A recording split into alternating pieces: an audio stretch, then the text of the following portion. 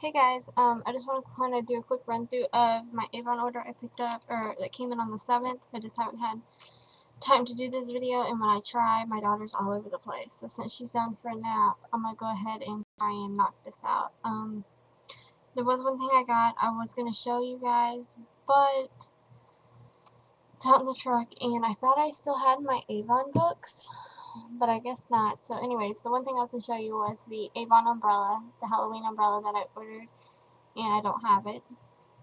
A picture of it, actually, and it's out in my truck, and I really don't want to have to bring it in and shut, um, undo it and everything, because it's a pain. So anyways, really quick, I got two nail polishes. This one is in Vintage Boutique. It's just a brown, and it looks like this.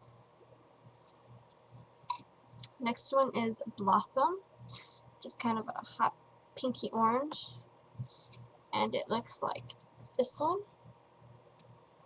And then the last thing I got, I bought these for Halloween, but they also match an outfit that I have, or a corset actually that I have.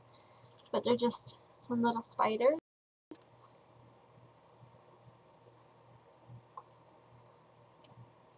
So, that was all I ordered.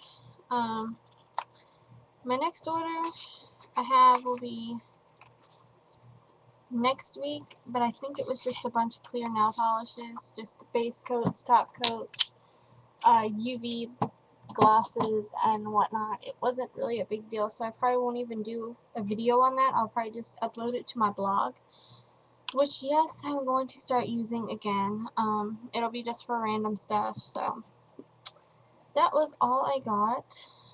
And my total, all my area right here is just so cluttered because we've been trying to paint and almost finished and the other one is yet to be done. So, anyways, that is that. Um, so I guess I will talk to you guys later. Bye.